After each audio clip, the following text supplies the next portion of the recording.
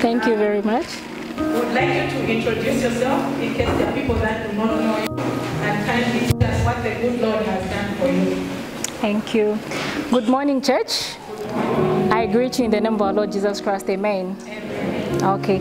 Uh, so, like it was said, my name is Jacqueline Makupa, and I'm here to give a testimony. It's actually a lot of things. I'm here to confirm prophecy. I'm here to give my testimony, and I'm here to God to give God the glory for what He has done for me. Amen.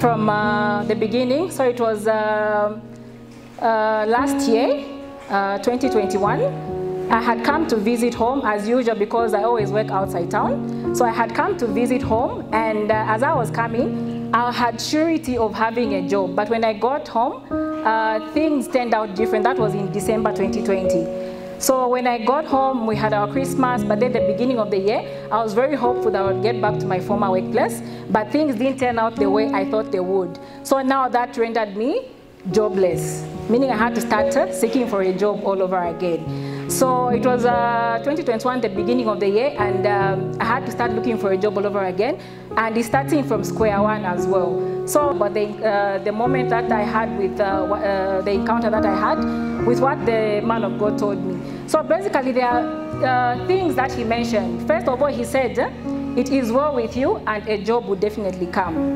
And one of the things that he also convincingly said was that I see something coming up for you and I see it being in Lusaka. And this wasn't the first time that he, act, he had actually said about my job being in Lusaka because previously when I was still working in 2019, I was working from Copper Belt, I was transferred to Petauke. He had mentioned of me working in Lusaka. So it's something that he just mentioned again. And Lusaka at that point wasn't even in sight, I was elsewhere. Um, eventually now, uh, that was uh, last year, October, I'm sure most of us were present. We had the three days conference that we had just here in uh, Solwezi. So it was uh, end of October, I think the last three days of October that uh, we had that. And on the third day, uh, it was uh, towards the end of the conference and uh, most people, I think were nearing the end, but as usual with the man of God, when you think he's going to stop, he won't stop. When you expect him to continue. So it was unknown, but it was nearing, uh, I think, uh, uh, late evenings, and most people had even actually started leaving. So there were only a few people that remained. There were quite a number, but still not as much as it was from the beginning. And uh, at that point, I think that was around 20, uh, uh, beyond 20, uh, he started praying for people individually during the, the conference. So because there were three rows, there were people on different rows. He started from the beginning, the second. He even prayed for me. He laid his hands on me and prayed for me, and he even passed, continued. So as uh, he was now, I think, on the second last row, towards the end, uh, we were just there, I think, uh, just uh, um, along, getting along with what the prayers and also affirming, confirming what people were being prophesied and also being in agreement. Then he came to the front. Then as he was walking back, he called my name. He was like, Jacqueline, um, I see doors opening for you in the area of work. Like I see a job coming. And I was in the front. Amen. Amen. Was unexpected. Of course, uh, he had been mentioning it, and also I knew the prophecy, and I also would pray about it and received it. But at that moment, you know, whereby this, he was praying, and he had even he had prayed for me, he had touched me and proceeded. So I was like, ah, today, this is all now afterwards, we even knock off. But when we were almost nearing the end, he called out my name and I received it. I was there saying, yes, daddy, I'm here and I receive amen. So when he said that, he was like, do you have a paper and a pen? I had a notebook. That's why I brought this. I had a notebook, but I didn't have a pen. So the person next to me, I think I had packed it, had helped me with a pen. And he was like, I want you to write down the salary that you want for this job that is coming. I was like, amen, I receive it. Quickly got a pen and wrote the amount.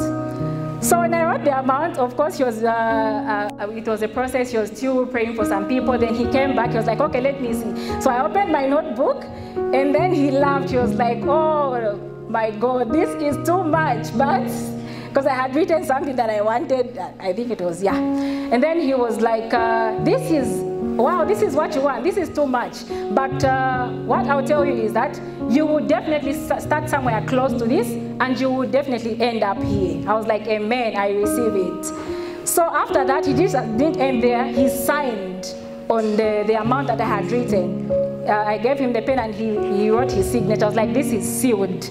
I receive it and it is coming to pass. Not that he went further and wrote the date.